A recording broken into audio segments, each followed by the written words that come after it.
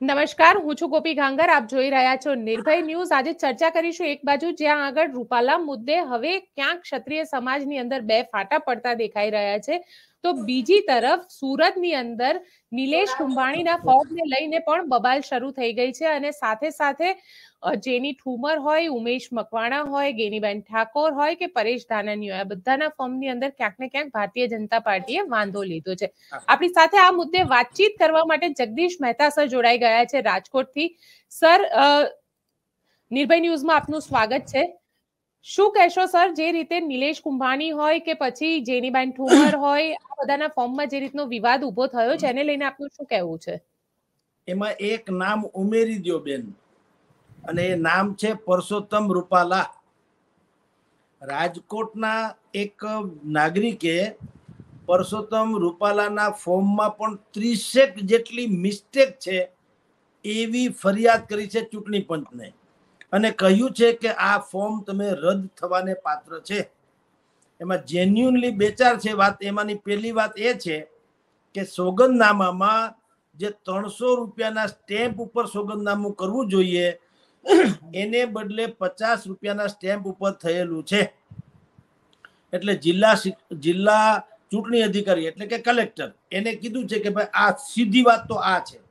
પછી એને કેટલીક પેટા કલમ પણ ટાંકી છે અરજદારે અને એણે એમ કીધું છે કે આટલી આટલી આટલી કલમમાં વીસ જેટલી નાની મોટી ભૂલો છે. કેટલાક જે એને સંપત્તિ બતાવી છે પોતાના રહેઠાણ વગેરેની, એમાં પણ એમ બતાવ્યું છે કે તમે એમાં સરકારી લેણા, તમારી પાસે કંઈ છે કે નહીં, એ વિગતો ટાંકવી ફરજિયાત છે, એ પણ તમે ટાંકી નથી. એટલે પરસોત્તમભાઈ રૂપાલાનું પણ નામ એમાં જોડી દો તમે ગેનીબેનનું જોડ્યું, જેનીબેનનું જોડ્યું ઉમેશ મકવાણાનું જોડ્યું સુરતમાં લીભાઈનું જોડ્યું છે. એમાં એક પરસોત્તમ રૂપાલા પણ છે ને હજી કદાચિત હાં સુધીમાં બીજા બે ચાર નામ આવે તો નવાય નહીં. પણ પણ સર રૂપાલાના મામલામાં ત્યાંના કલેક્ટરે એવું કીધું છે કે તમે વાંધો લેખિતમાં આપી દો અમે આમાં જે યોગ્ય હશે તે પ્રમાણેનો જવાબ આપીશું. પણ નિલેશ કુંભાણીનું તો ફોર્મ રદ થવા ઉપર છે. હા બેન એમાં એવું છે. અહીંયા પણ જો એટલે જ વાત તો ત્યાંથી ખરેખર ન્યા થવા ઉપર છે નહીં અહીંયા કઈ પાસ થઈ જવું જોઈએ, જરૂરી નથી. પણ હવે તંત્ર બુદ્ધિપૂર્વકનું કામ કરી રહ્યું છે ને. તમે સ્થૂળ અર્થમાં જે જુઓ, કાયદા કાનૂનને લેશ માત્ર બીજી કોઈને ધ્યાનમાં રાખ્યા વગર બંધારણને જ મગજમાં રાખો. તમે આ પરસોત્તમભાઈથી ભૂલી જાઓ, ભાજપવાળાથી ભૂલી જાઓ અને તમે અત્યારે કલેક્ટર સરકાર ભાજપની છે, એ બધું ભૂલી જાઓ. તમે બા કાયદા ચૂંટણી અધિકારી તરીકે જ જુઓ અને જેમ ન્યાયની દેવીને અહીંયા પાટો બાંધેલો હોય છે એમ પાટો બાંધેલી હાલતમાં જુઓ તો દીવા જેવું સ્પષ્ટ છે. ત્યાં સુરતમાં તમે જેમ કહો છો રદ થવાને ન્યાય વાત તો આવી જ ટેકનિકલ જ છે કે ભાઈ તમે જે તમારા સમર્થકો બતાવ્યા છે એ આ ગામના નથી. એ બીજા કોઈ ગામના છે એમ. હું તમને એમાં કરેક્શન આપી દઉં. એમના જે ટેકેદાર એમને આપ્યા છે એ ટેકેદારમાં એમને રમેશ પાલેરિયા જગદીશ સાવલિયા અને ધ્રુવિત ધામેલિયા, આ ત્રણ નામ છે અને જેમાંથી એક એમના ભાગીદાર છે, એક એમના બનેવી છે અને એક એમના મિત્ર છે અને કહેવાય રહ્યું છે કે એમને એવી એક એફિડેવિટ કરી છે કે જે સહી કરવામાં આવી છે, ટેકેદાર તરીકેની. એ સહી અમારી નથી અને એ ત્રણ જણાની વિરુદ્ધમાં અત્યારે ત્યાં આગળ નિલેશ કુંભાણીએ એફઆઈઆર પણ રજિસ્ટર કરાવી છે પોલીસમાં, ઉમરા પોલીસ સ્ટેશનની અંદર અને એમને કીધું છે કે આનું કિડનેપિંગ થઈ ગયું છે. હવે એ લોકો હાઈકોર્ટ તરફ જઈ રહ્યા છે અને હાઈકોર્ટમાં હેબિક્યુસ ફાઇલ કરી રહ્યા છે. કે આ ત્રણ જણા ગાયબ થયા છે. હવે જુઓ બેન હવે આ તો એ તો કાયદો કાયદાનું કામ કરશે પરંતુ દૂધમાંથી પોરા કાઢવા સુધીની પણ ગેમ ચાલી રહી છે બધી જ જગ્યાએ. કેની બેનના કેસમાં એવું થયું કે સામે ભારતીય જનતા પાર્ટી એમ કીધું કે ભાઈ, એક તરફથી તમે ફાળો ઉઘરાવતા ફરો છો કે હું ગરીબ બેન છું, મારો તમે મામેરા ભરો મને મોસાળિયા આપો વગેરે વગેરે. અને અત્યારે તમારી પાસે પછી આટલા વીસ, ત્રીસ વીઘા જમીન છે ચાલીસ, પચાસ લાખની જમીન તો એ છે બાકી તમે બીજું જે હોય તે. તો તમે એમ કે ગરીબ પોતાની જાતને કયો છો ને આ ચાલીસ, પચાસ લાખની પ્રોપર્ટી તો છે. તો ગેનીબેન એમાં એમ કે છે કે ભાઈ એ પ્રોપર્ટી એટલાની નથી જેટલાની તમે ગણાવી રહ્યા છો. એ તો જંત્રીના ભાવ સરકાર વધારે છે. મેં જ્યારે તમને અત્યારે મારા એમ કે આવેદન પત્રમાં જે મેં દર્શાવ્યું છે એ મારી લેવલ પ્રમાણે બતાવ્યું. સરકાર જંત્રી પ્રમાણે વધારતી જાય અને એની કિંમત આપોઆપ વધી જાય તો હું શું કરું? પણ એ એ પ્રોબ્લેમ તો છે દાખલા તરીકે મારું આ ઘર છે, અત્યારે હું જ્યાં રહું છું, એની હાલ જે કિંમત હોય તે. પરંતુ બાજુમાં જો એરોડ્રામ થાય, તો સો ટકા આ સોનાના કટકા જેવું થઈ જાય. તો મારે એ રીતે જ દર્શાવવું પડે કે બજારમાં આ ભાવ છે. આપણે બધા બેન જાણીએ છીએ, મૂળ મકાન જેટલાનું હોય દસ્તાવેજ એનાથી ત્રણ ગણી ઓછી રકમનો હંમેશા થતો હોય છે. સત્તર હજારનો દસ્તાવેજ તો સમજી રાખવાનું કે સાઠની આળે ગાળેનું તો મકાન છે જ. બાકી બધા ઓનના એટલે હવે ત્યાં પણ થયું છે. અમરેલીમાં મેં કીધું જેની બેનની હાલત ત્યાં પણ એવી પરિસ્થિતિ ઊભી થઈ છે. કોઈ એક ટેકનિકલ એરર કાઢીને કહેવું કારણ કે એમાં એમ કહેવાય છે કે જેની બેને કોઈ એક કાર્યક્રમમાં ભારતીય પરિવેશમાં કોઈ બાળકોને ઊભા રાખ્યા છે તિરંગા કલરમાં હોય કે ગમે તેમાં એને કારણે આચાર સંહિતાનો એમ કે ભંગ થયો છે. એક બીજું નામ ભારત મહેતા વાળું. હવે બીજું એક આપને કહું. પરસોત્તમ રૂપાલાનું જેમ રાજકોટમાં હળગ્યું છે એવી રીતે એના રાઇવલ પરેશ દાનાણી એનું પણ સળગ્યું છે. એમાં એવું છે પરેશભાઈ દાનાણી વાંકાનેરમાં ગયા હતા. ત્યાંની દરગાહમાં એને ચાદર ચડાવી, ફૂલ ચડાવ્યા. પણ એના ગળામાં કોંગ્રેસનો ખેસ હતો. એ કાઢવાનું ભૂલી ગયા. ભારતીય જનતા પાર્ટી વાળા હોય કે કોઈ હોય, મૂળ અત્યારે અરજદારના નામે બધું ચાલે છે, પણ આપણે જાણીએ છીએ કે ભાજપની વિરુદ્ધ કોણ હોય અને કોંગ્રેસની વિરુદ્ધ કોણ હોય. બે રાઇવલ છે એટલે બેના પોતપોતાના ઠેકેદારો હોય. એટલે ભારતીય જનતા પાર્ટીના મયુરભાઈ શાહ છે કે એણે કોઈએ એવી એક ફરિયાદ કરી છે કે મસ્જિદમાં જવું ભારતીય અરે કોંગ્રેસનો ખેસ પહેરીને જવું એટલે કે ધાર્મિક જગ્યાઓમાં જઈ તમે રાજકીય જે આચાર સંહિતા છે ચૂંટણી સંહિતા એનો ભંગ કર્યો છે.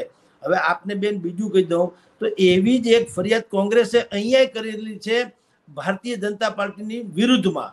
શું ફરિયાદ કરી છે?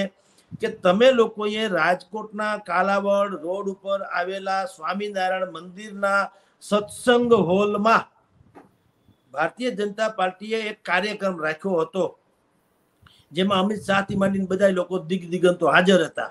પરસોત્તમભાઈ હોઈ શકે કેબિનેટ મિનિસ્ટર ભાનુબેન બાબરિયા હતા અને ભાનુબેને તો એ ફેસબુક ઉપર મૂક્યું છે એ પોતાનો કાર્યક્રમ. એ એને દસ્તાવેજી પુરાવા તરીકે કોંગ્રેસે રજૂ કરીને ચૂંટણી પંચ સુધી મોકલ્યું છે. કે તમે વિચાર કરો કે આવો રાજકીય કાર્યક્રમ તમે સ્વામિનારાયણ મંદિરના સંકુલમાં કઈ રીતે, સ્વામિનારાયણ કે કોઈ પણ ધાર્મિકમાં કઈ રીતે કરી શકો?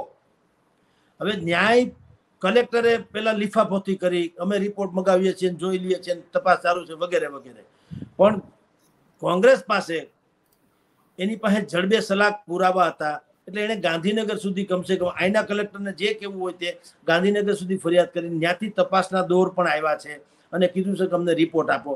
પણ આપને હું બેન કહું, આ બધી લીપાપોતી ભલે થાય, પરંતુ મોટા ભાગે જે બનતું આવ્યું છે તેમજ કદાચિત બનશે કે સરકારી તંત્ર જે સરકાર અત્યારે સત્તામાં હોય, એના ફેવરમાં જ મોટા ભાગે એના નિર્ણયો કરશે સરકારી તંત્ર.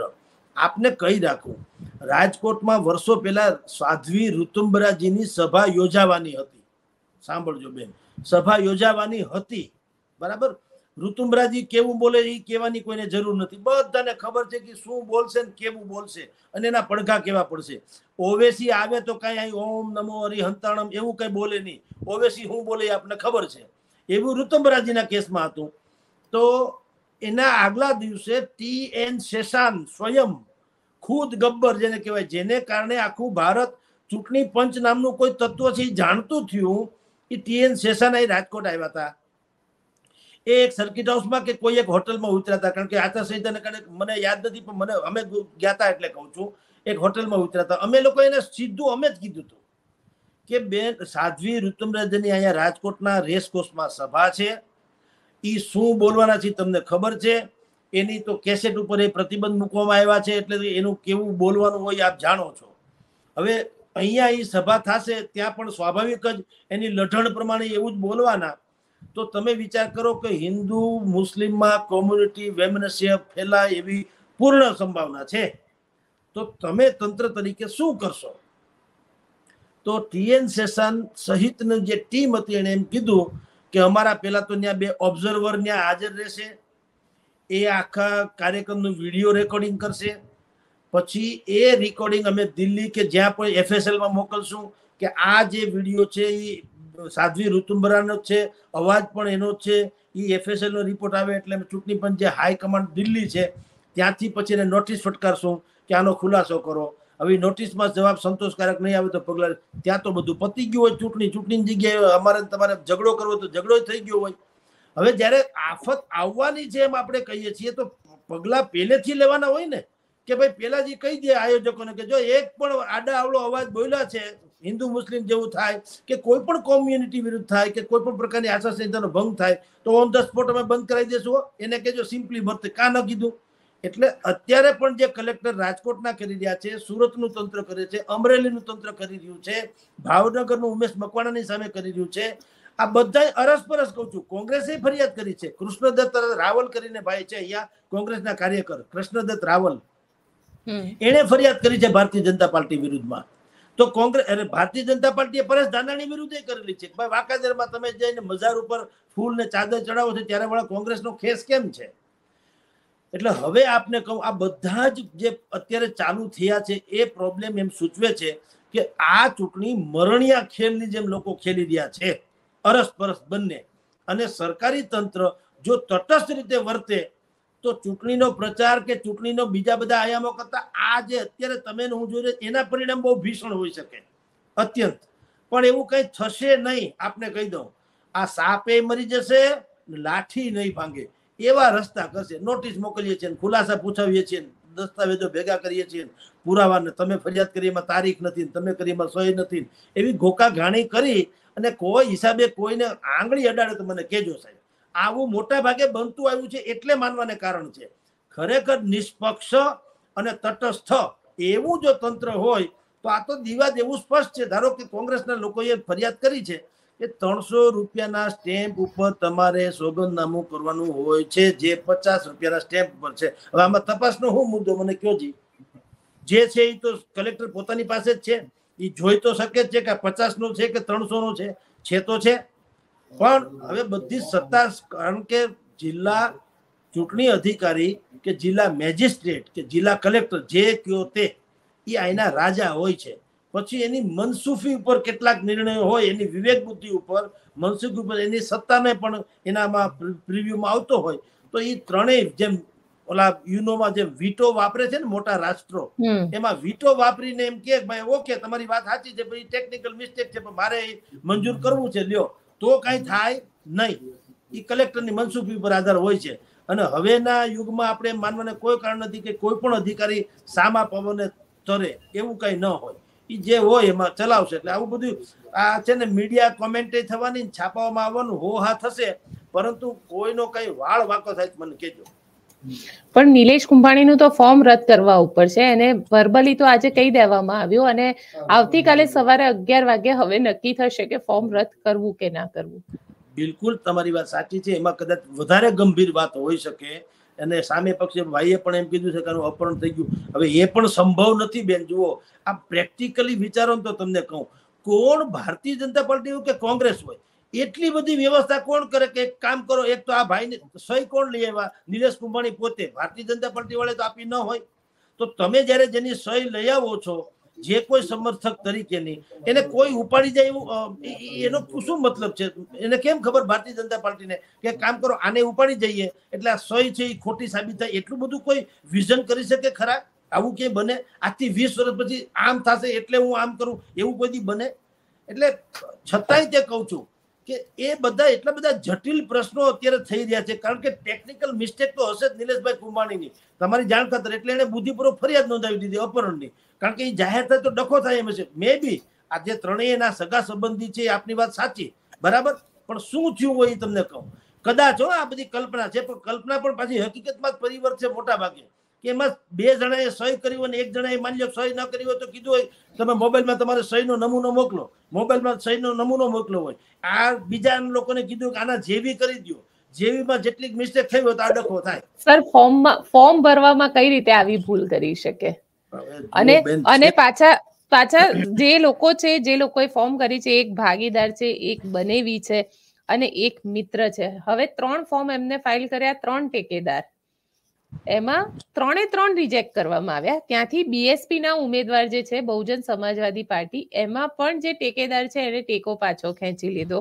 આ ઉપરાંત જે અપક્ષ છે, એ અપક્ષમાં પણ ક્યાંક એવું કહેવાય રહ્યું છે કે ટેકેદારો ટેકો પાછો ખેંચી રહ્યા છે. એટલે હવે એક માત્ર ઉમેદવાર બચશે એ જે છે મુકેશ દલાલ. એ ત્યાંથી ઉમેદવાર બચે. એટલે આ આખી સીટ બિનહરીફ નીકળે એવી છે હવે. પણ એ તો એ ભારતીય જનતા પાર્ટીનું આ બુદ્ધિપૂર્વકનું જેને કહેવાય કે તમે જે કયો તે ષડયંત્ર કયો, કે એની સાજિશ કયો, કે એનું કાવતરું કયો, કે એની આવડત કયો. એને એને તમારી ભૂલ એને કાઢી છે ને તમારે કા તમારી પાસે કોઈ પુરાવો એટલે કે તમારી એટલે કોંગ્રેસ પાસે કોઈ એવું તો જડબે સલાક વાત છે જ નહીં ને, કે એ પુરાવાર, પુરવાર કરી શકે તો જ આવું મુશ્કેલી કેવું પડે ને? આનું અપહરણ કરી ગયા લઈ ગયા કા પહેલેથી જ આવું થયું હોય સાહેબ, કે જ્યારે ફોર્મ ભર્યું હોય ત્યારે જેમાં જે સમર્થક તરીકે મૂકવાનો હોય એ પહેલેથી જ બુદ્ધિપૂર્વક કા ફૂટલા હોય, ભારતીય જનતા પાર્ટી ત્યારે ગોઠવણ થઈ ગયું હોય કે અમે અત્યારે કરીએ, પણ આપે કીધું મેં સગા બનેવી છે ફલાણા છે તો તો પછી આટલી હદે તો કેમ માનવામાં આવે? ગળે ને ઉતરે એવી વાત તો છે, પણ આ તો everything is fair war and love એના જેવું કદાચ હોય તો હોય. પણ અહીંયા મેં તમને કીધું, તમે ન્યાની વાત કરો, મને ન્યાની ટેકનિકલી ભલે ખબર નથી, પણ હું તો કલ્પના કરું જેમ રાજકોટની મને ખબર છે, અમરેલીની ખબર છે, કે આ બધા બાબતો એકબીજાની સામે ભરી પીએ એવી બધી દસ્તાવેજો સાથેની બાકાયદા અરજીઓ થઈ છે. અને બધા નોમ સાથે વાત કરી છે કે પરસોત્તમ રૂપાલાની આ ભૂલ છે. ભાઈ પરેશ ધાનાણીની આ ભૂલ છે. જેનીબેનની આ ભૂલ છે. ઉમેશ મકવાણાની ભૂલ છે. હવે એ આમ દીવા જેવું સ્પષ્ટ હોય છે, તોય તંત્ર એમાં બુદ્ધિપૂર્વકનો, હજી તમે આમાં સુરતમાં તમને શું તારીખ નાખી છે બુદ્ધિપૂર્વક. હવે કાલ અગિયાર વાગ્યા સુધીમાં અમે કાંઈક કરી દેશું. પહેલાં હતું કે ચાર વાગ્યાની આડે ગળે કલેક્ટર કંઈક નિર્ણય કરવાના હતા. એ ચારમાંથી છ ને હાથ થયા પછી હવે કાલની અગિયાર વાગ્યા સુધી થયું. હવે આમાં થાય કેવું દાખલા તરીકે જો અહીંયા પરસોત્તમ રૂપાલાનું જાડુ લાકડા જેવું થઈ જાય અને એમ લાગે કે આડું બહુ મોટી મિસ્ટેક છે તો પછી ક્યાંક બુદ્ધિપૂર્વકના ખેલે પડે કે ભાઈ તમારી તેરી બી ચૂપ મેરી બી ચૂપ. આ ચૂંટણી પણ તમને લાગે છે કે રૂપાલાનું રદ થશે ફોર્મ હવે જે રીતની ફરિયાદ છે આ અત્યારે આપણે વાત કરી હતી એક પક્ષીય છે એક તરફી છે. સામેના પક્ષનો આપણી પાસે કોઈ વિઝન કે કંઈ વાત છે નહીં એટલે આપણે ફરિયાદીને સાચું માની એવું જરૂરી ભલે નથી. પણ ફરિયાદ છે ચોખ્ખે ચોખ્ખી. મને કોઈ એમ કે અત્યારે બેઠક સાહેબ જગદીશભાઈએ ગુલાબી કલરનો શર્ટ પહેર્યો હતો ચશ્મા પહેર્યા હતા. તો હવે આમાં ક્યાં કઈ છુપા જવું? આ રહ્યું. હવે એમાં બીજું, તોય તમે એમ કહો ના હું તપાસ કરી તો એ તો હજ કહેવાય. તપાસ બીજી શું કરી લેવાના? આ રહ્યું તમારી સામે. એમ ઓલાએ ચોખ્ખું કીધું તો છે કે જે ફોર્મ એને ભર્યું છે સોગંદનામામાં ત્રણસો રૂપિયાના સ્ટેમ્પને બદલે પચાસ રૂપિયાનો સ્ટેમ્પ છે. હવે એમાં તપાસનો મુદ્દો હું મને કયો જી? ફૂટી ગયા આપણે આપણે જોઈ તમને એવું લાગે છે કે નિયમો કોંગ્રેસ માટે અલગ છે અને ભાજપ માટે અલગ છે? એટલે એમાં એવું છે બેન તમે અડધો ગ્લાસ ખાલી છે એમ કહી શકો ને અડધો ભરેલો છે એમ કહી શકો. બે હાચા પાછા. ખોટું એકેય નહીં. પણ કારણ કે કલેક્ટર પાસે સત્તા કદાચિત હોય કે કલેક્ટર પાસે અત્યારે પાવર સ્વાભાવિક રાજા જિલ્લાનો રાજા ગણાય. એ જિલ્લા મેજિસ્ટ્રેટે છે અને જિલ્લા ચૂંટણી અધિકારી પણ છે. ઓકે? હવે એની પાસે કદાચિત એવું હોય, વીટો પાવર જેવો પાવર, કે ભાઈ એ ટેકનિકલ, કારણ કે એમાં શું કરવામાં આવે બેન? આ તો પરસોત્તમ રૂપાલા છે. બાકી ચૂંટણી લડનારા જે અપક્ષો હોય છે સામાન્ય રીતે એ લોકો બિચારા પણ હોઈ શકે કે ખબર ન હોય નોલેજ ન હોય એને એટલું, અપક્ષ કયો હોય તો જો ધુરંધર હોય તો કોઈ ટિકિટ ના આપી હોય. પણ હવે ટિકિટ નથી આપી છતાં પોતાને કાં ધુરંધર માનતા હોય અને કાં એને એમ લાગે કે ના, મારે લડવું જોઈએ દેશ સેવા માટે. કેટલાક લાગણી સભર માણસો પણ હોય છે. કેટલાક એમ થાય છે કે ભાઈ, મારે શું કેમ ન લડવું જોઈએ? હું લડું? મને એટલા લોકો ઓળખે છે. હવે આવા લોકો રીઢા ગુનેગારની જેમ રીઢા રાજકારણીઓ નથી હોતા. એ બિચારાને ઉમળકો આવ્યો ને હાલો ફોર્મ તો લઈ આવો, મફત છે, વીસ પચીસ હજાર રૂપિયા ભરીને પણ કાં આપણું નામ થાય, ચૂંટણીમાં ભલે હારી જઈએ, પણ કમસે કમ મારી વિસ્તારમાંથી હું આગળ ફોર્મ ભરું, હું જે સોસાયટીમાં રહું, એમાં તો લોકોને ખબર પડી જાય ને કે ઓહો હો, પરસોત્તમભાઈની સામે લોકસભામાં લડે જગદીશભાઈ. એટલે આટલા વિસ્તારમાં તો મારું ગાજતું થઈ ગયું. તો મારે પાછું એટલું જ જોતું હોય, એવાય કેટલાક હોય, કેટલાક રિયલ સેન્સમાં હોય કે આપણે લડી જ લેવું છે, ગમે એમ થાય. અને કેટલાકે અસંતુષ્ટ હોય, પક્ષમાંથી ટિકિટને આપીએ તો પણ મધુ શ્રીવાસ્તવની જેમ લડી લીધા હોય. પણ એ બધા રીઢા છે. એટલે કે એની અનેકો ચૂંટણી લડી હોય એની પાસે એનું મિકેનિઝમ હોય વકીલ હોય સાથે બધા અને દસ્તાવેજી પુરાવા સાથે પચાસ વખત જોઈ કાઢવી સહી વગેરે કરાવતા હોય છે. હવે આ મારી જેમ નવીન જીઓ ગયો હોય કોઈ માણસ પહેલી વખત લડી જ લેવું પણ આ તો ભાજપ કોંગ્રેસની આપણે વાત કરી રહ્યા છે. ભાજપ કોંગ્રેસનું રૂપાલા રૂપાલાનું એફિડેવિટ કરવા વાળા વકીલને ખબર નહીં હોય કે ત્રણસો નું ફોર્મ ત્રણસો રૂપિયા હું હું હું ઈ તો કઉ છું બેન કે હવે તમે વિચાર કરો સીધી વાત બીજા બધા ટેકનિકલ તો ત્રીસ મુદ્દાની એને આપ્યા છે જે અરજદાર છે એને કે ભાઈ આમાં આ ફલાણી કલમ મુજબ ઢીકણું છે ને એ તો રસોઈ દીર્ઘ જેવી ગ્રામેટિકલ મિસ્ટેક છે માની લ્યો બે ઘડી બીજી બધી જે છે તે. પણ આ તો દીવા જેવું સ્પષ્ટ છે કે ત્રણસો રૂપિયાને બદલે તમે પચાસની સ્ટેમ્પ નાખી છે. હવે એમાં તો કોઈ તપાસનો બીજો કયો મુદ્દો હોઈ શકે? પણ સરકાર પાસે એટલે કે કલેક્ટર પાસે એવા પાવર હોતા હશે આપણને ખબર નથી પણ મેં બી હોતા હશે ને એમ કહી દે કે, ઓકે, તમારી વાત સાચી છે, પણ હું પરસોત્તમભાઈને કહી દઉં છું, ભાઈ આમાં અઢીસો બીજા જોઈન્ટ કરી દો બીજું હું દાખલા તરીકે. આ તો આપણી લેમેનની ભાષામાં વાત કરું. એવી કદાચ સંભાવના હોય કે, ભાઈ, અમે ત્રણસો નું કરાવી દઈએ છીએ. એમ સમજી લો ને, આ રિચાર્જ મોબાઈલ જેવું થઈ ગયું. તો કરાવી દેતા હશે. પણ ખરા અર્થમાં નીતિ નિયમ આપણે જાણતા નથી. સરકારે નીતિ નિયમ આમ જાહેર કરવા જોઈએ નીતિ number one two three four એમાં કોઈ ભંગ થયું કે નહીં? એ નથી એટલે આપણે એનું બહુ વિશ્લેષણ ન કરી શકીએ. પણ જે ફરિયાદ છે તો દીવા જેવી છે તો એનો જવાબ જે દીવા જેવો મળવો છે એ જવાબ નથી મળ્યો. સરકાર એમ કે હું તપાસ તપાસ શું આમાં? મને કહ્યું છે મેં ચશ્મા પહેર્યા છે અને ગુલાબી શર્ટ છે એમાં તપાસ તમે શું કરી લ્યો? આ રહ્યો પણ આમાં બીજું શું છે? એટલે એટલે ગોપાલ ઇટાલિયા એટલે ગોપાલ ઇટાલિયા અને શક્તિસિંહ ગોહિલ એવું કહી રહ્યા છે કે આ લોકશાહીની હત્યા થઈ રહી છે જે રીતે અત્યારે કરવામાં આવી રહ્યું છે. ના તો તમારે થાવાય દેવી ના જોઈએ ને કે જો બે વસ્તુ છે હત્યા સો ટકા થઈ રહી છે માની લ્યો. પણ તમે હવે જો ઢાળ આપો તો કોઈ દોડવાનું, સાહેબ, સમજી લ્યો. બે વસ્તુ, તમે કઈ કમ નથી. એક ગોપાલ ઇટાલિયા સ્વયં એક એડવોકેટ છે. તો એને કે તમને ખબર ન હોય કે તમારા હરીફ, તમારી દરેક બાબતોમાંથી, દૂધમાંથી પૂરા કાઢે, ભૂલ કાઢવાના છે એ તો તમને ખ્યાલ જ હોય. તો તમે એવા લૂ ફોલ્સ આપો છો શું કામ? તમારી નબળી નાડ તમે કોકને આપો તો દબાવે ને. શત્રુનું કામ શું છે? તમારી નબળી નાડ દબાવવાનું. તો તમને ખબર છે તમારી સામે કોણ છે? તો શું કામ નબળી નાડ ભાઈ તમે રાખી? અને એ ન દબાવે તો એ તો મૂર્ખ કોઈ હોય, એવો શત્રુ મૂર્ખ હોય કે તમને ગમે એમ કરીને તમારી ભૂલ બતાવે. ભારત પાકિસ્તાનની સરહદ ઉપર સામેવાળા પાસે ગોળીઓ ખૂટી જાય તો આપણા ભારતવાળા કે, આલ્યો ભાઈ, થોડી આલ્યો, તમે વાપરો. ઠપકારો અમને. એમ કોઈ કહે, મારી જ નાખે ને. એ તારી ભૂલ છે, તારી પાસે શસ્ત્ર નથી. આ તો દીવા જેવું સમજી શકાય વાત છે ને. એટલે હું આપને કહું છું કે તંત્ર હંમેશા શાસક પક્ષની ફેવર કરતું રહેવાનું. એ અત્યારે તમે કહો લોકતંત્રની હત્યા, તો તમે ક્યાં દૂધે જોયેલા છો તમે તે આખા નૈતિકતાની હત્યા કરીને તો આખો પક્ષ બનાવીને સત્યાનાશ કર્યો છે. જે હારી હારી વાતો કરીને બધાને ઊંધું બનાવ્યા હતા અત્યારે ક્યાં એવું કરો છો તમે? તમારા કેજરીવાલના તાજમહાલ જેવું મકાન બનાવ્યું તમે ક્યાં તમે સરકારી સંસાધનો વાપરશું નહીં, અમે બસમાં આવશું, ટ્રેન વગેરે વગેરે એ તો હવે નૈતિકતાને બેન બોલો જ માં કોઈ. લોકતંત્રની હત્યા અને ફલાણ એ શબ્દો કાંઈ નહીં. તમે ભૂલ કરી, તમે ભોગવો. પરસોત્તમભાઈ ભૂલ કરી, પરસોત્તમભાઈ ભોગવે.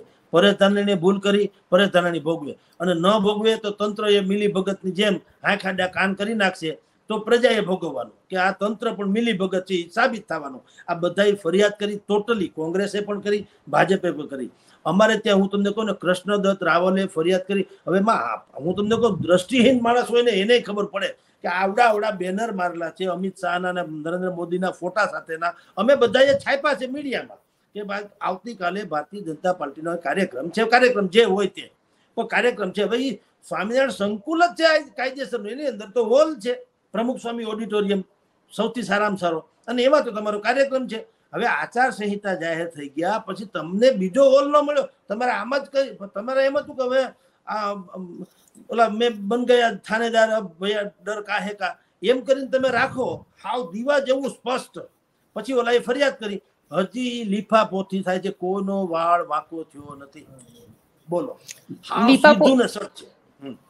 લીપાપોથી થાય છે જે તમે કહી રહ્યા છો એટલે કાલે હવે જોઈશું કે શું થશે. પરંતુ આજે સાથે સાથે રાજકોટમાં પ્રેસ કોન્ફરન્સ કરી પીટી જાડેજાએ. અને પીટી જાડેજાએ એવું કીધું કે આઠ બેઠક ઉપર અમે ભાજપને હરાવીશું. એમ તો કોંગ્રેસે એમ કે છે કે અમે ભાજપને હરાવીને સત્તા કબજે કરીશું. દરેકને અધિકાર બોલવાનો, સંકલ્પ કરવાનો, સિદ્ધ કરવાનો પણ અધિકાર. પણ હાવ કઈ રીતે એ કોઈ નહીં કે અને ન થાય તો તમે શું કરશો? એ કોઈ નહીં કે તો સંકલ્પ તો મારો છે, ટાટા બિરલા મારે કોઈ પણ હિસાબે બનવું છે, લ્યો. પણ સંકલ્પ પછી મારે કંઈક કેવું તો જોઈએ ને કે ભાઈ, આ રીતે હું બનીશ, આટલા સમયમાં બનીશ, અને નહીં બનું તો હું આ રીતે તમારી સામે કંઈક મારે કેવું તો જોઈએ ને? હવે એ તો છે નહીં તો હું તમને કહું જો મારે તમારા જેવી ચેનલ ચાલુ કરવી છે, પણ મને કોઈ ભોજ્યભાઈ ઓળખતો નથી, ક્યાંથી કરવું એટલે ઠીક જ છે. પીટી જાડેજાએ જે કોન્ફરન્સ કરી, એના વિશે હું તમને ગંભીરતાથી વાત કરું. પ્રોબ્લેમ શું થયો છે? કે હવે એમાં અલગ અલગ અલગ અલગ સંકલન સમિતિ જે બની, એમાં થોડુંક અલગ અલગ અલગ મત મતાંતર શરૂ થયા છે. એટલે પીટી જાડેજાએ આજે કોન્ફરન્સ કરીને પહેલાં એમ કીધું કે યુવરાજસિંહ જે છે એ સંકલન સમિતિમાં નથી સંકલન સમિતિનો હિસ્સો નથી, એ કોઈ ઓફિસ બેરર નથી, કે ક્ષત્રિય સમાજનો પણ કોઈ સદસ્ય અમારે એટલે કે ઓફિસ બેરર ટાઈપનો સદસ્ય નથી. એ ક્ષત્રિય છે એટલી વાત હકીકત છે, પણ એને આ આંદોલન કોણ ચલાવી રહ્યું છે, કોણ હેન્ડલ કરી રહ્યું છે, એના વિશે કોઈ પણ ગબગોળા કે કોઈ પણ તર્ક વિતર્ક કરવાની કોઈ અધિકાર નથી. આવું એણે સ્પષ્ટપણે કીધું. એટલે મૂળ વાત આ કરવી હતી. પછી બીજું બધા પૂછે તો ખરા ને કે પાર્ટ ટુ ની જાહેરાત થઈ છે, તો તમે શું કરી લેશો? અને તમારા મગજમાં શું છે? એટલે એ આડ વાત તરીકે કહેવામાં આવી છે કે અમે આઠ બેઠક રાજકોટ સહિતની, સુરેન્દ્રનગર છે, કચ્છ છે, જામનગર છે, બધું ગોહિલવાડમાં ભાવનગર છે વગેરે. અમે એ બધી બેઠકો ઉપર અમારી રીતે બધા લોકોને મનાવશું, અન્ય વર્ગોને પણ ક્ષત્રિય સમાજ એમ કે મનાવશે અને કોઈ પણ ભોગે ભારતીય જનતા પાર્ટીને હરાવશું. તો એ તો એનો સંકલ્પ હોઈ શકે અને હ હોને એ તો બોલવાની અધિકાર છે. ભાજપે લડત કરવી પડે અને આ લોકો એની રીતે કરવી પડે. હારી જાય તો હારી જશે. એ તો મેદાનમાં ઉતરે તો બધું થાય. ક્લીન બોલ્ડ આપણે જોઈએ તેંડુલકરે જીરોમાં આઉટ થાય છે. એવું નથી કે ન થાય. હવે એ જે જેની ક્ષમતા પ્રમાણે હવે વાત કરશે, પણ મૂળ વાત પછી આ હતી કે પદ્મિનીબા વાળા જે છે, એણે પણ પીટી જાડેજા ઉપર ખતરનાક આક્ષેપો બધા કર્યા છે. એણે કીધું જય ચંદો શબ્દ વાપર્યું છે. જય ચંદોના કારણે આ સંકલન સમિતિ જે છે એ જુદા રવાડે ચડી ગઈ. આંદોલન આખું દિશાહીન થઈ ગયું. અસરકારક પણ ન રહ્યું. અને પાર્ટ વનમાં કાંઈ ન થયું. પાર્ટ જાહેરાત કઈ રીતે કરી શકો? પદ્મિનીબા વાળા એમ કીધું કાંઈ પિક્ચર છે કાંઈ, કે પાર્ટ વન ને પાર્ટ ટુ હોય. તમારી પાસે કાંઈ છે તો નહીં. એટલે આવી બધી બાબતોમાં જે ટૂંકમાં હવે મત મતાંતરો શરૂ થયા, એના ખુલાસા માટે મૂળ તો કોન્ફરન્સ હોય છે. પછી આડ વાત કરવામાં આવે કે જે ગઈકાલે સંકલન સમિતિ વાળાએ કીધું હતું કે અમે ચારેય ઝોનમાંથી, ગુજરાતના ચારેય ઝોનમાંથી એક એક રથ કાઢશું ધર્મ રથ સ્વાભાવિક છે, રથ કાઢીશું. અમારી ક્ષત્રિયાણી બહેનો જે છે એ ઉપવાસ ઉપર ઉતરશે અને ગામે ગામ અમારાથી બનતું હશે એ પ્રમાણે અમે પિકેટિંગ વગેરે કરશું. તો તેનો રાઈટ છે એ તો કરશે. જે કરવું ઘટે એ એમાં એને અધિકાર છે અને જે થશે એ પડશે એવા દેવાશે પણ બીજું એણે કીધું કે અમે આઠે આઠ જીતી જશું, તો એને મેકેનિઝમ નથી બતાવ્યું. આ પ્રયાસ કરશે એવું કે છે તો દરેકનો અધિકાર છે સ્વાભાવિક છે. પણ સર, એ પ્રયાસની અંદર આપને લાગે છે કે રાજકોટની સીટ ઉપર પરેશ ધાનાની ના આવવાથી કોઈ ફરક પડશે? કારણ કે જે કાસ્ટ કોમ્બિનેશન છે, આજે હું તમારા જ પેપરમાં વાંચતી હતી, જે કાસ્ટના જે ડેટા તમે આપેલા છે, એ ડેટા પ્રમાણે જો ક્ષત્રિય અને લેવા પટેલ આ બધી મળી જાય અને અધર કમ્યુનિટી જે મુસ્લિમ અને દલિતનું જે કોમ્બિનેશન છે જે કોંગ્રેસનું પરંપરાગત કોમ્બિનેશન છે એ મળી જાય તો ભારતીય જનતા પાર્ટીને અહીંયા આગળ ટફ ફાઇટ તો થઈ જાય. બિલકુલ બેન એમાં જરાય ખોટું નથી. જે પ્રમાણે આંકલન કરેલું છે એ રીતે જો થાય જુઓ દોઢથી બે લાખ જેટલા દરબાર છે ક્ષત્રિય સમાજ છે. હવે એક એક એક એક લોકોને પણ જો મનાવવામાં સફળતા એક વ્યક્તિ એક બીજા વ્યક્તિને એમ. તો ડબલ થઈ ગયું ચાર લાખ થયા. આઠ લાખ ઓબીસી છે. આ રાજકોટની ચોવીસ બાવીસ ત્રેવીસ ચોવીસ લાખની આખી જે વોટર્સ જે છે એની જે આખી મત લોકસભાની બેઠક છે એમાં આઠ લાખ ઓબીસી છે. દોઢથી બે લાખ માઇનોરિટીઝ છે. દોઢેક લાખ જેટલા દલિત સમાજ છે. અઢી થી ત્રણેક લાખ સોની, બ્રાહ્મણ અને વાણિયા છે. બરાબર? અને લેવવા દોઢેક લાખ છે, કડવા સાડા ત્રણ લાખ છે. હવે અત્યારે તમને કહું, કડવા દોઢેક લાખ છે ને લેવવા સાડા ત્રણ લાખ છે. હવે આ લેવવા પટેલ એટલે પરેશ ધાનાણી લેવવા છે. નરેશ પટેલ જે છે લેવવા છે. નરેશ પટેલ અને પરેશ ધાનાણીએ બેએ બંધ બારણે એક બેઠક કરી છે. પરેશ ધાનાણીએ બેઠક કરી તે પહેલા નરેશ પટેલે કોંગ્રેસનો આભાર માન્યો તો જ્યારે જામનગરમાં જેપી મારવિયાને ટિકિટ આપી, ત્યારે એને આભાર માન્યો. અર્થાત, એનું જોખ એટલે કે એનો ઢોળાવ એનું ઝુકાવ, લગાવ એ કોંગ્રેસ તરફ હોય એવું માનવામાં આવે. કારણ કે એણે ભારતીય જનતા પાર્ટીનો, ભારતીય જનતા પાર્ટી પર ચાર ટિકિટ આપી છે. તો એનો આભાર માન્યો. હજી સુધી પ્રેસ આઉટ તો નથી થયો. પ્રેસ આઉટ તો જેપી મારવિયા વાળું થયું જામનગરનું. એનું ગુજરાતી એ છે કે નરેશભાઈ પણ કદાચિત વધુ પડતા કોંગ્રેસ તરફ હોઈ શકે. એટલે લેવા પટેલનું જે સાડા ત્રણ લાખ લોકોનું ઝુમખું છે એ જો નરેશ પટેલ કહે અથવા તો પરેશ ધાનાણીની પોતાની, કારણ કે લેવા પટેલ છે અને ઝુંઝારુ નેતા છે, એટલે એ કે તો એ એક ઝુમખામાંથી મોટા ભાગનો હિસ્સો ત્યાં જાય, સ્વાભાવિક છે. પછી રહી વાત કડવાની, કદાચ કડવા લોકો ઇન કેસ એ ન આપે, પણ બાકી જે વોટ બેંક છે, ભારતીય જનતા પાર્ટીને સમર્પિત એવી વોટ બેંક છે, રઘુવંશી, સોની, બ્રાહ્મણ, હવે એ કમિટેડ સો ટકા છે. પણ અત્યારે પરસોત્તમભાઈ રૂપાલા અહીંયા લડી રહ્યા છે. રાજકોટનો કોઈ વ્યક્તિ લડતો નથી ભારતીય જનતા પાર્ટીનો. અને એવા કેટલાય થનગન ભૂષણો હતા જેને લડવું હતું. ટિકિટ નથી મળી. એનું છાપામાં આવેલું, દુનિયાભરમાં મીડિયામાં આવેલું છે. એ હા ના કરતા ફરે છે, પણ હકીકત બધી બહાર આવી ગઈ છે. આઈબીના રિપોર્ટ સુધીનું ગયું છે કે કેટલાક અસંતુષ્ટ લોકોએ પણ આ પરસોત્તમ રૂપાલાના કાંડને વધુ હવા આપી, જેથી વધુ અત્યારે ભડકે બળ્યું તો એ અસંતુષ્ટો મેં આપને પહેલા ગણ્યા લેવા પછી બક્ષી પંચ ઓબીસી ઓબીસીના આઠ લાખ મતો છે. પછી આ મેં તમને કે ભારતીય જનતા પાર્ટીને અસંતુષ્ટો અને કોંગ્રેસના કમિટેડ આ બધાનો તમે સરવાળો કરો બેન તો સો ટકા અને પરસોત્તમભાઈ પાછા મેં કીધું આયાતી હોવાને કારણે અને અત્યારે જે ડખે ચડી ગયું તો એને કારણે લોકો દાવ રાજકારણમાં હંમેશા આવું હોય. શત્રુથી ઓછો ભય હોય મિત્રોથી વધુ રાખવો પડે. એટલે એ પ્રકારનું વાતાવરણ તો છે જ. એટલે જો ચમત્કાર જ આમાં સર્જાય એમ છે એની જીતમાં. જીતે તો ભાગશાળી. બાકી તમે જેમ કહો છો એમ કે એમાં કઈ શંકા છે કે કઈ સંભવ બને તો બનવાની સંભાવના પણ નકારી ન શકાય. પણ અચ્છા એટલે પરેશ દાનાની જીતવાની સંભાવના ઓછી છે પણ જીતી શકે ખરા. મે બી સાહેબ જો હજી વાતાવરણ આમાં રાજકારણમાં હંમેશા છેલ વારંવાર આ એક વાત કહું છું કે એમાં સામાન્ય રીતે શું હોય હુમલા કે આક્રમણમાં શું હોય ખબર છે? પેલો ઘા રાણાનો પેલો જે ઝાપટ મારી એ ભાઈડો પછી સામે વાળા ડરી જ જાય. રાજકારણમાં છેલ્લો ઘા રાણાનો હોય છે. અત્યારે આપણે ચર્ચા કરીએ છીએ કશું જ નથી થયું. બે ઘડી માન લઈએ અને લેવા છે ને કડવા છે ને ક્ષત્રિય છે ને ભાજપની વિરુદ્ધ છે ને ફલાણું છે બધું સાચું. હું આગળ તમને બે વસ્તુ કહું તો તમે કદાચિત હા પાડશો. દાઉદ મરી જાય ને અથવા તો મારી નાખે એને ભારતીય જનતા પાર્ટી તો આ હંધુ એક કર પડ્યું છે લ્યો. દાઉદ ને માર નાખે હવે દાઉદ ક્યાં ને આ ક્યાં ને કઈ લેવા કે દેવા. પણ દાઉદ ને માર નાખે અથવા તો પીઓ કે ને આપણે ભારતીય જનતા પાર્ટી વાળા એટલે કે આ સરકાર જે છે પીઓકે ઉપર આક્રમણ કરીને કંઈક લઈ લે સમથિંગ એવી મોટી કોઈ ઘટના બની જાય દાખલા તરીકે એટલે આખે આખું ટર્ન ઓવર થઈ જાય. હું તો આ તો દાખલો છે, પણ તમને કહું. આગળ એમ કહી દઈએ કે ઉમિયા માતાજીનું રાજકોટ જેવું છે, એવું સૌરાષ્ટ્રમાં સૌથી મોટું અક્ષરધામ જેવું મંદિર અમે બનાવશું. હવે જો કે જાહેરાત થઈ ન શકે આચાર સંહિતાને કારણે. પણ બે ઘડી માની લ્યો, આવી કોઈ મોટી વાત કરવામાં આવે ને તો આ અત્યારે શું છે?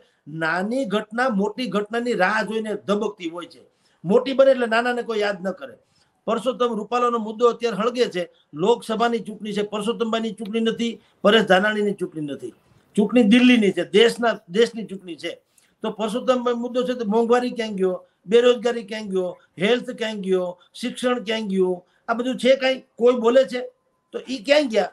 એ ગાય ખાઈ ગઈ. એમ આમાં ગાય જ ખાઈ જાય. એટલે છેલ્લો ઘરાણાનો પણ અત્યારે જ્યારે આપણે ચર્ચા કરીએ છીએ, ત્યારે એવી સંભાવના છે કે કમસે કમ ફાઇટ તો થશે જ. કોંગ્રેસ સજીવન થઈ ગઈ. જેમ ધાણાની પણી ઉપર પાણા, પાણી તમે છાંટો, તો તાજા વધુ લાગે. એવી કોંગ્રેસ થઈ તો ગઈ બેન એમાં કોઈ સંશય નથી. અને જેમ પડશે એવા દેવાશે જેમ જેમ જેમ જેમ આગળ સ્થિતિ હાલતી જશે દાખલા તરીકે તમે અત્યારે જે મુદ્દો જેને કારણે આપણે ડિબેટ કરીએ છીએ કે પરસોત્તમ રૂપાલાની ભૂલ છે એ દાખલા તરીકે કાલ સાબિત થાય બે ઘડી માની લ્યો. અને અરજદાર છે એ સાચો ઠરે કે ભાઈ હકીકત છે ભૂલ જ છે. અને તંત્ર એનો ઢાંક પીછોડો કરે દાખલા તરીકે. ટેકનિકલી હોવા છતાંય. તો એ મુદ્દો આના કરતા પાછો વધશે. પછી ક્ષત્રિય સમાજ તો વિરોધની બાજુ એકવાર રહેશે. પછી બધા કહેશે કે કેમ આમ થાય છે? તંત્ર છે એ પણ સરકારની ચસમપોશી કરે છે. પરસોત્તમભાઈ હા હે પરસોત્તમભાઈ હા કારણ કે છેલ્લો ઘા રાણાનો, એટલે આમાં ટી ટ્વેન્ટીની મેચની છેલ્લી ઓવર જેવી ઘટના હોય છે.